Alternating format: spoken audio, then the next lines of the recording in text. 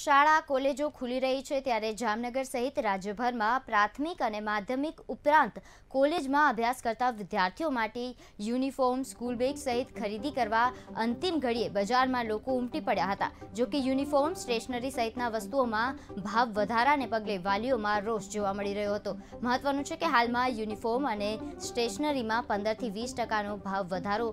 જાણવા મળી રહ્યો છે